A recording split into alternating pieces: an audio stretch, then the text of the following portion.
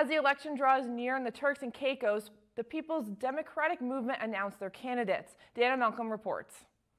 As elections draw closer, the team that the People's Democratic Movement hopes will help win the 2025 elections against the government's roster of all island candidates has been announced with the moniker the Fantastic Five. They are Robert Bean, Ruth Ariza, Karen Malcolm, Sean Astwood, and Ralph Higgs. The selection process was an unusual one, according to the party, with a candidate team scoring each candidate based on weaknesses and strengths and allowing residents to vote on them. Each candidate was allowed a moment to speak on what the nomination meant to them. First, Karen Adams Malcolm, former Minister of Education. And as we move forward, this is just the beginning of the race.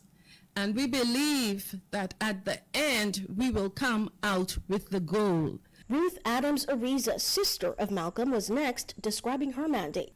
To help to bring about empowerment and change to the hearts and minds of the beautiful people of this great nation of ours. Ralph Higgs, former Minister of Tourism, also took the floor. That if the change that you desire and the change that you seek is going to take place, the change starts with this fabulous team that the PDM is putting forward. Robert Bean, PDM deputy party leader, closed out the group.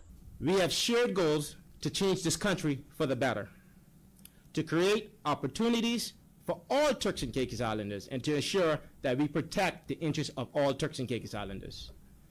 To do this, we need you, we need your voice, and your vote to change the status quo and to change this government. The five were chosen out of 19 applicants according to the PDM. The announcement for the district seats is set to come in April. Opposition leader Edwin Astwood stressed that he was extremely pleased with the team. We're your one source for everything Caribbean. Download and subscribe to One Caribbean television to stay connected anytime, anywhere.